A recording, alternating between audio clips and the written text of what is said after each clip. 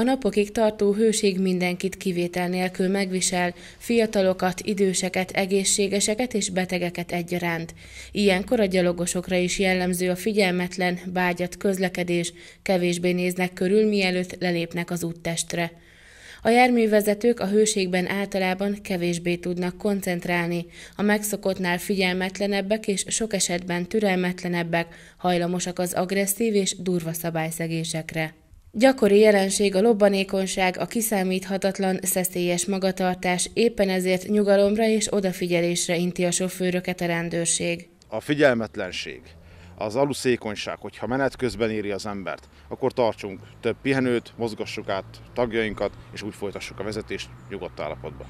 A bányatavak is fokozottan veszélyesek, bennük fürdeni pedig tilos, aki mégis megteszi, komoly bírságra számíthat.